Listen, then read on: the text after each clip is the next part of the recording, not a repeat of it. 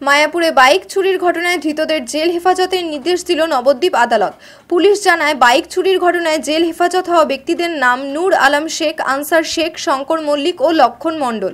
Police সূত্রে জানা যায়, গত বছরের দোসরা নভেম্বর মায়াপুরের বাসিন্দা মধুসূদন পাকিরার বাড়ি থেকে দুটি বাইক চুরি যায়। সেই ঘটনায় তেসরা নভেম্বর মধুসূদনবাবু নবদ্বীপ থানায় বাইক চুরির অভিযোগ দায়ের করেন। অভিযোগ পেয়ে তদন্ত শুরু করে নবদ্বীপ থানার পুলিশ।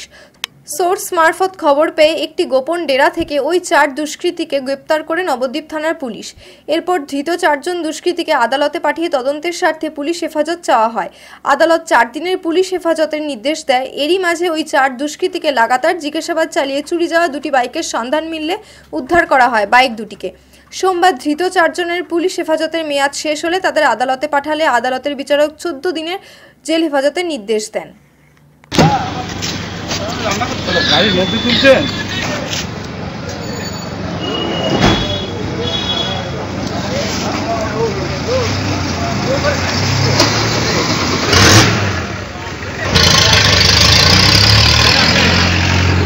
বলেন তো It's caught in the crossfire.